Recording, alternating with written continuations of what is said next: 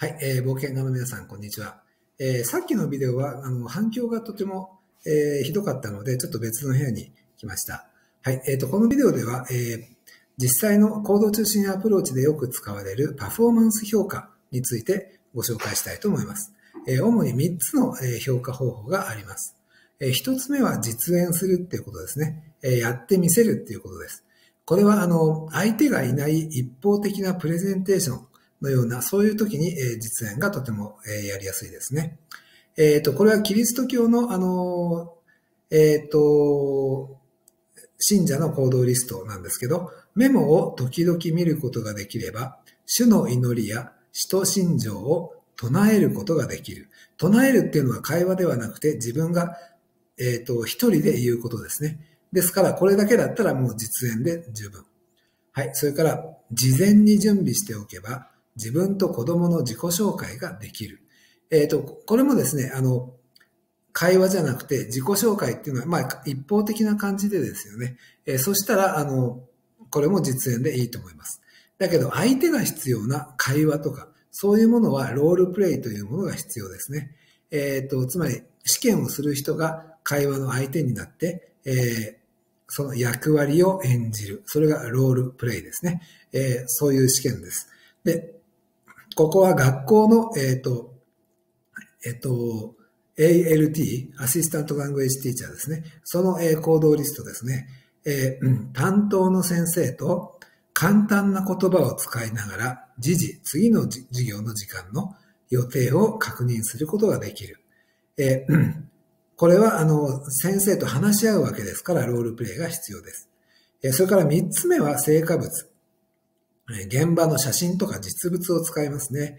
えこれは、えあらかじめ名前をあ、あらかじめ名前に振り仮名を振っておけば、血圧と体温を一覧に記入することができる。えっ、と、多分人の名前がこうやってたくさんあって、その人の体温とその人の血圧をみみんな書いていくんですね。これ、介護施設の、えー、あのー、介護施設で働く人のえー、コースですね。はい。で、それから、これは別の人が作ったんですけど、これも介護施設だったと思います。はい。えー、看護施設か病院だったかなはい。これは辞書を使うことができれば、リハトレカードに記録を書くことができる。リハトレカードっていうのは、リハビリテーションのトレーニングのカードです。はい。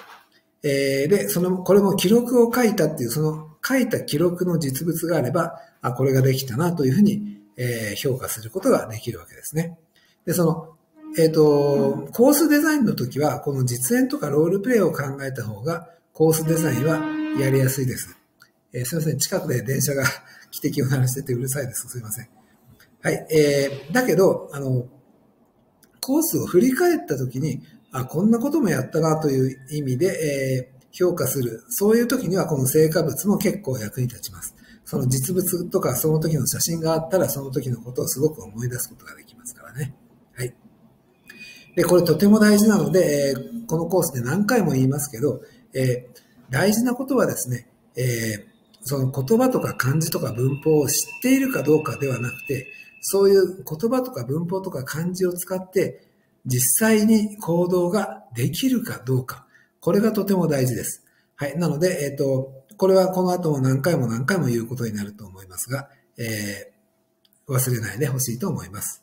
はい。でですね、えー、こういうふうに、あの、評価方法を作っても、でもそれだけでは、どんな事業をすればいいかわからないっていう、そういう、あの、相談をよくされますが、そういう時にはですね、えー、小さく分ければ、じゃあ何を教えればいいかっていうことが分かってきます。例えば、バイク用の地図を書店で購入することができる。えこれだけだったら何を教えればいいかよくわからないですよね。でもこの中で、例えば本屋の中で地図のある場所を見つけることができる。そして自分が行きたい、行きたい地方の地図をその本棚から見つけることができる。そしてその地図の値段を知ることができる。そしてレジでお金を払うことができる。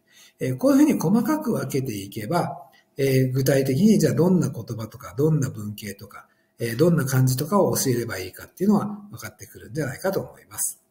えっ、ー、と、次のビデオでは実際のその試験の、え例などもご紹介してみたいと思います。フィルム連携